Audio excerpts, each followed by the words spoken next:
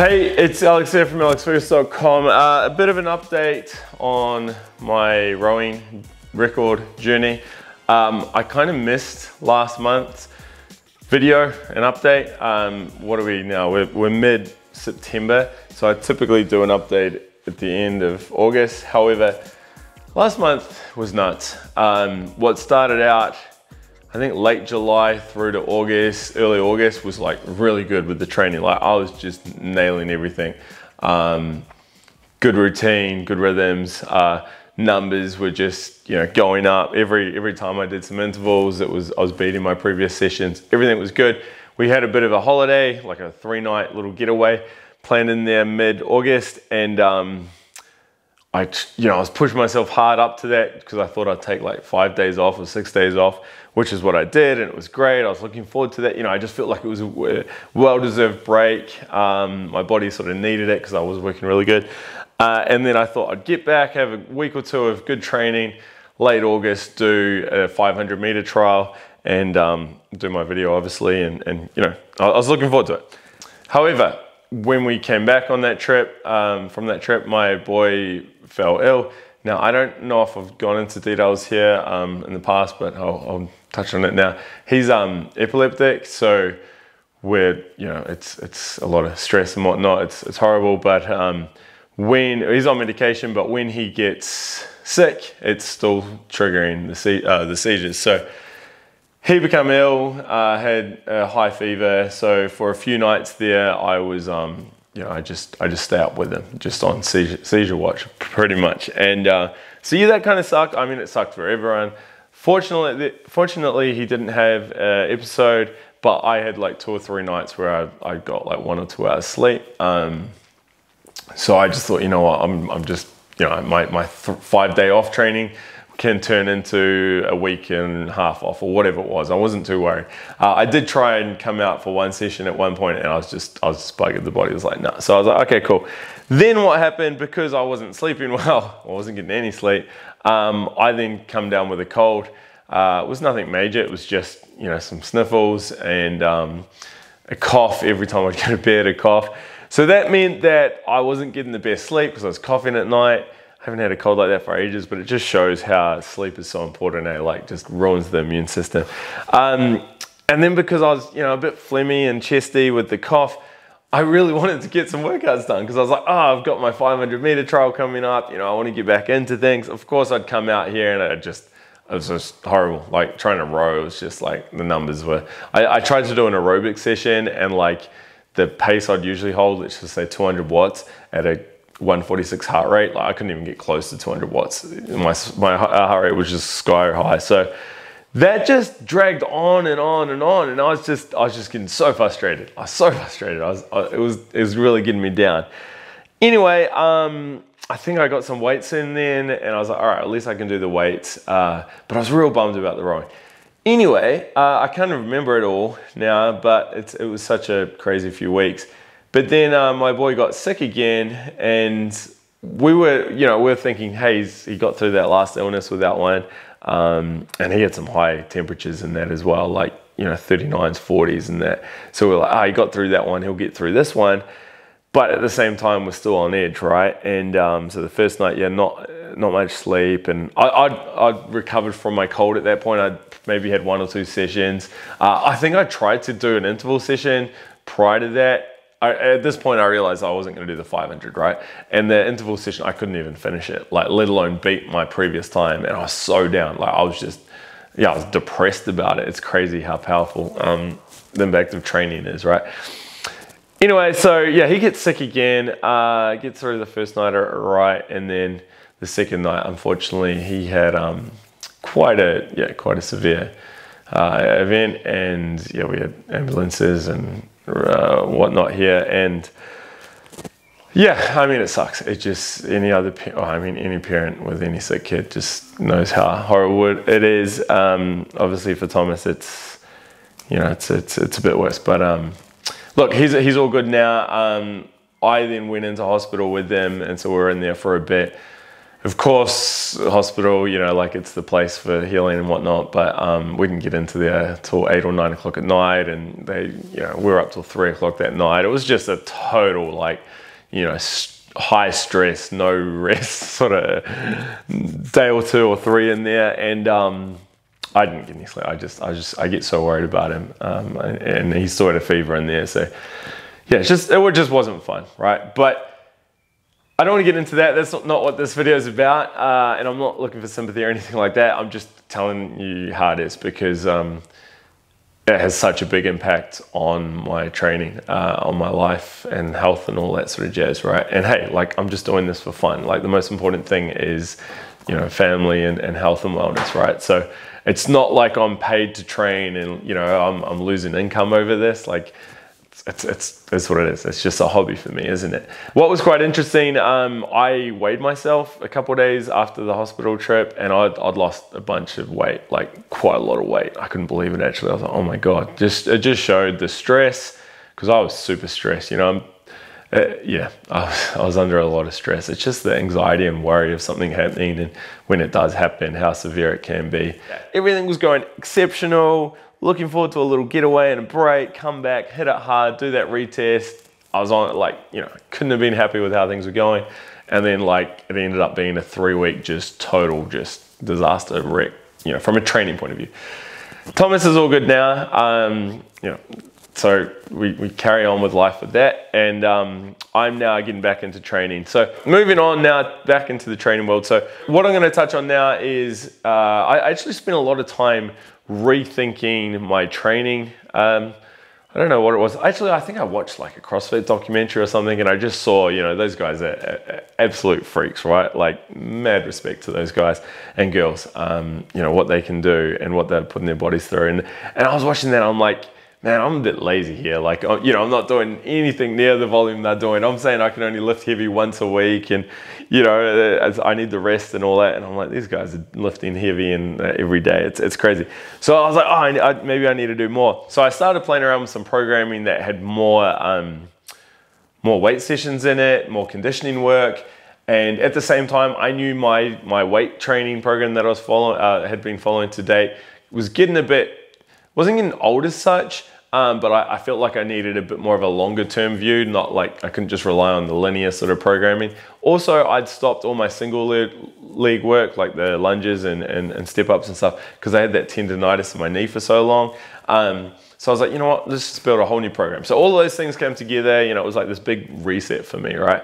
Uh, so I started looking at 531, Jim Wendler's 531. I've used that a lot. Um, in the past, 10 years ago, for powerlifting. Great results. I was like, oh, I'll work that in. Spent way too much time um, obsessing over this program. It was ridiculous. Like I was reading all the books, I was reading forums, I was drawing out all these programs and then ripping them up and starting afresh. I was laying in bed some nights over analyzing all this. It was it was stupid. It was actually stupid in hindsight, but that's just how I work. Um, and then I was going to do this like big squat day and a big deadlift day and work in some conditioning work and, and, and try to get some more aerobic work in and do all this cool stuff. And I started like doing one of those weeks, um, and it was just like my body was like, "Whoa, this is hold up, this is nuts." And um, yeah, and then I, I I did all that, and I was like, I can't I can't train like this because I'm 35 um, I just don't have the time to train like like twice a day or like do two and a half hour gym sessions anyway. I mean, it's just yeah, life with kids, illness, wife, you know, all that stuff. Just can't, right? Like, so I was like, hey, that's not gonna work. And then also, I, I like I need that time to recover, and I can't do two big lower body sessions like a squat day on a Monday and a deadlift on a Friday, and expect to still be able to do big numbers here on the erg and you know, it just it's just not going to work. And I look back at all my numbers. I'm like, hey, I'm improving. I actually put a comment up uh, explaining the situation, and someone said to me like, dude, like, why are you trying to change this again? Like, it's obviously been working great. And it was like, yeah, big wake up call. I was like, hey, look, I'm getting stronger on the deadlift. I'm getting stronger on the squat. I'm getting better, faster on the row machine. Like, why change it? So I dialed it all all back and went back to the basics. So I've now built a new program. Um, following the exact same template as I have been following recently. So I'll run you through that real quick. Monday's my big sprint row session of the week. So that's when I, uh, of the month, yeah, of the week, sorry. That's when I do like a 500 if I was going to do it. But that's like my most important interval session, all right? So that's the hard one, you know, big warm up, all guns blazing, you know, that, that's the one that's making the, the gain, so to speak. It typically hurts a lot. Uh, Tuesday is my lower body weight session. Uh, now what I've done here is I'm actually using 531 percentages and programming. Um, I'm doing, I've got two different workouts. I do one for three weeks and then the other for three weeks. It's quite complex. I'm not going to go through it here, but yeah, there's there's strength work in there with the 531, then some assistance work, and then some higher rep work like you know 20 rep sessions and stuff, uh, sets and stuff. Um, so it's cool. I like those, and I've done two weeks of that now. and Numbers are going great as well. Uh, Wednesday we're doing the upper body as usual. Um, some strength stuff in there, some higher rep stuff in there. Again, if anyone wants to see their full program, I can share it. Maybe I'll do, put it on screen or something. Um, so that's good. Wednesday that that, and then Thursday is my aerobic row. Um, you know, capped heart rate. Friday is then my extras day. So this could be more sprints if the body feels all right. Uh, it could be some speed work like plyo, you know, cleans. Uh, it could be some conditioning like big circuits. Now, I actually did one of these last week, a bit of a, a circuit, which is what I originally planned with my Friday sessions a while back.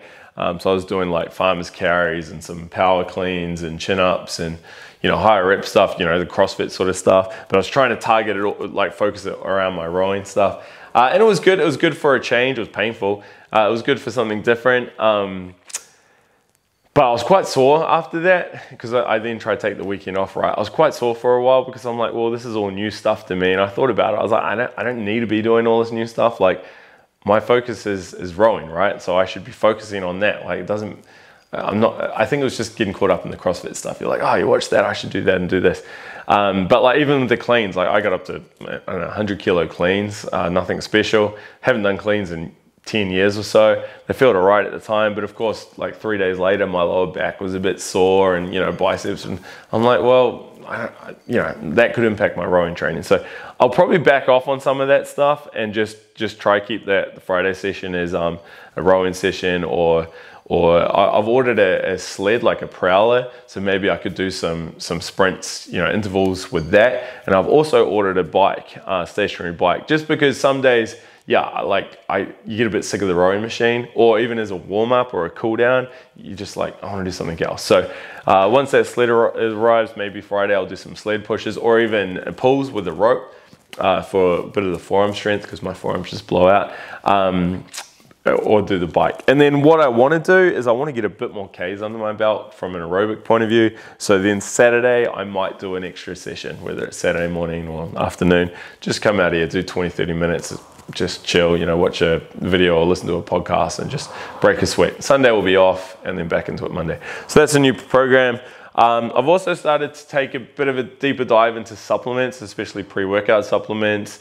So I'm going to dial that in a bit more and you know really see if I can get that extra one percent gain there. Um, so yeah, that's the training. That's where I'm at. We're now mid-September. I have done one good interval session this week. So I'm finally like, okay, I'm back on online. Actually, no, I've done two this this month. So I'm like, I'm back online, you know, back where I should be. My gym stuff is going excellent, like on the weight, so that's cool. Uh, I want to do a 500, but I don't want to rush into it. So I may do one in the next week or two. I may not. I'm not too sure. So I also have some dates, uh, some races coming up. So end of October, there's Oceania Champs, so New Zealand, Australia, Pacific. Um, it's a virtual event, so I'll be able to do it here, which is pretty cool. I've never done that before. Um, it's a Saturday, so yeah, i will take that quite seriously. I'm only doing the 500, and um, I don't know when it will be, like what time it is. I'm hoping it's an afternoon. Uh, if they live stream it, I'll be sure to let you guys know as well. Um, but hey, morning, whatever, it's all cool. But given it's with Australia as well, I'd say it will probably be afternoon New Zealand time, which is great for me.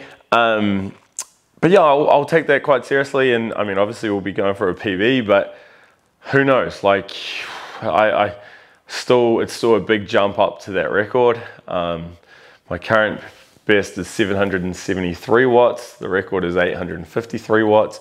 My next attempt, I was hoping to get into the 800 watt um, mark. Yeah, so it's a, it's a big jump, you know, to expect to just pull that off. And I'm sure there'll be a bit of adrenaline with the competition sense, but then at the same time, I'm like, maybe there won't be because it's just me, you know, like here with a computer. Um, so I might not get that extra, you know, competition sort of uh, performance boost. And in fact, it may actually, I may actually go worse because you you are on the racing clock, so you don't start rowing until it says row. So if you miss time your start, you know, there could be half a second there. So who knows? Anyway, but it's going to be fun. I'll do that. Then um, in February next year, there is the World Indoor Rowing Champs, and they have a 500 as well as the 2K. Uh, that's in Toronto, Canada. So realistically, um, I don't think I'll go because it's just a massive trip. Like it's nearly 24 hours of travel to get there. Uh, time zone's completely different. Um, it's going to be winter over there, whereas it's summer here. So yeah, but you can also enter if you qualify. I don't, and I don't know what the qualification standards are. Um, if you do qualify for that, you can enter race remotely. However, it could be like a 3 a.m. race for me here in New Zealand. So look, you know, it's kind of cool. I'll think about it later on um, when there's more details around that.